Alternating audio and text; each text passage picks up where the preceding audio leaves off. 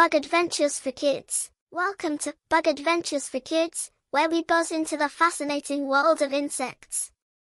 Join us as we explore the names of different insects and learn about their unique characteristics, habitats, and behaviors. Butterflies are colorful insects with delicate wings. They often visit flowers to drink nectar and play an important role in pollination. Ant. Ants are tiny insects that live in colonies. They work together to build nests, find food, and take care of their young. Bee. Bee. Bees are buzzing insects known for collecting pollen and making honey. They play a vital role in pollinating flowers and helping plants grow. Ladybug.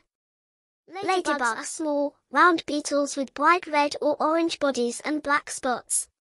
They're considered good luck in many cultures and help control pests in gardens. Grasshopper. Grasshopper. Grasshoppers are hopping insects known for their long hind legs and ability to jump great distances. They're herbivores and eat plants like grasses and leaves. Dragonfly. Dragonflies are agile insects with long, slender bodies and large, transparent wings. They're skilled flyers and often hunt mosquitoes and other flying insects. Beetle.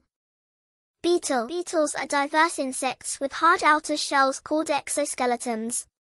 They come in various shapes, sizes, and colors and can be found in almost every habitat. Mosquito. Mosquitoes Mosquito. are small, flying insects known for biting humans and animals to feed on blood. Only female mosquitoes bite, while males feed on plant nectar. We've discovered some incredible insects today. Which one is your favorite? Join us next time for more bug adventures for kids.